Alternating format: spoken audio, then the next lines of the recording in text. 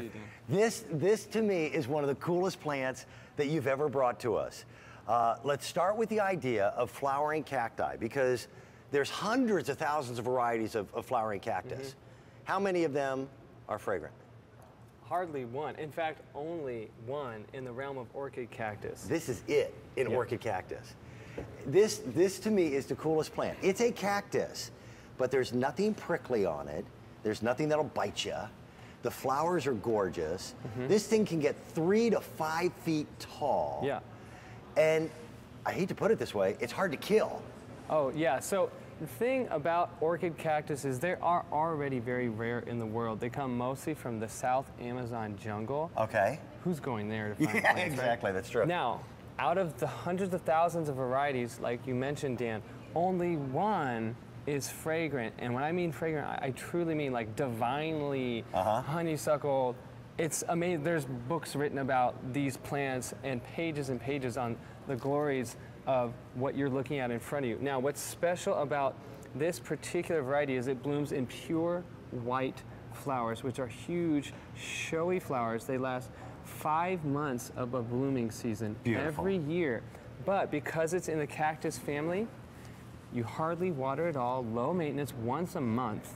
That's it. Yeah, and like you mentioned, no needles or pricklies. Look at those flowers. These are these soft cream, almost like white sea foam, and then you've got a, a light hue of yellow petals in the back there. This is something unique. People do not know. Who- who's this good looking guy? This is some, I don't know, some uh, You'd be ho- hobo we saw on the street. I can't believe we paid him for that picture. he, he is somewhat the matriarch now of the family. And, uh, and I've known your dad now for 25 years. Yeah, long time. Wow. Look at this. And if you think about it, Mother Nature doesn't paint in white very often.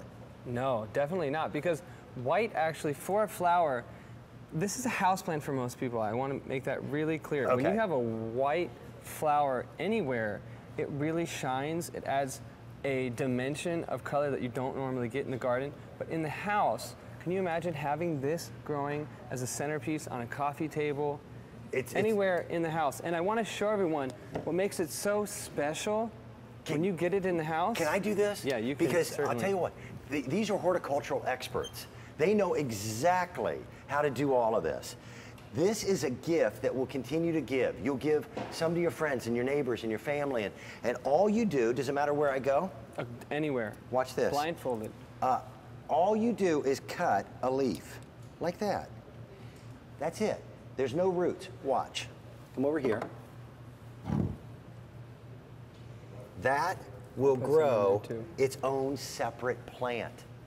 And it happens quickly. Oh yeah, just in a matter of a few weeks, you're gonna have new leaves sprouting. You can do this unlimitedly. Actually, when, when you get these home out of the box, what you're gonna see are two plants, Right. which were grown from the very method we just showed you, from our big plants that we have in our greenhouses. Because someone had to travel to the Amazon to get the originals.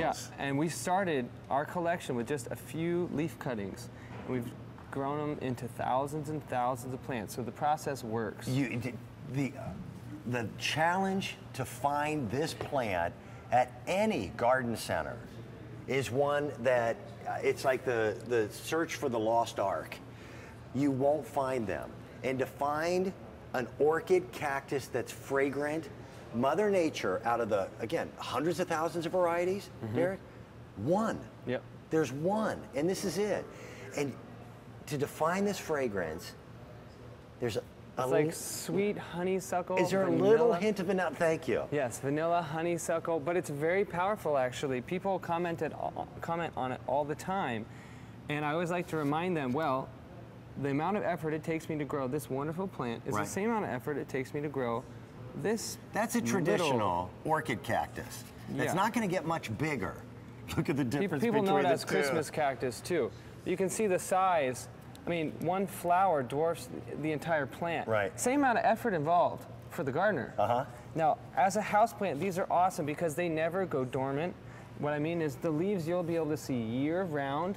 The flowers you get starting in late spring, they last for five months. I, the weird thing is on mine, it, it almost gets a resurgence every once in a while in in the late autumn and all of a sudden poof and I see flowers again for a couple no, weeks. it it definitely can happen like that too.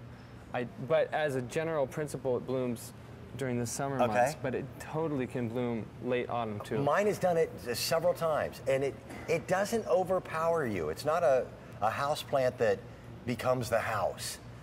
It becomes a focal point. It's it's summer in your home. Yep.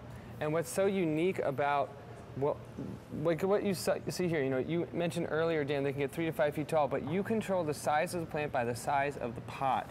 If you want it to stay small, you keep it in a tiny pot Yes. and constantly cut back. You know, every time I cut a leaf off, not only am I making the plant smaller, it'll grow back from where I cut it actually. It will, but now I can give a gift at the same time. So if you want to maintain a nicer compact form, it's super easy. I find that to be the most amazing thing. In Mother Nature, that the lizard, when its tail falls off, it grows another tail. Yeah. That's what this plant is like. And you can bring a part of the tropical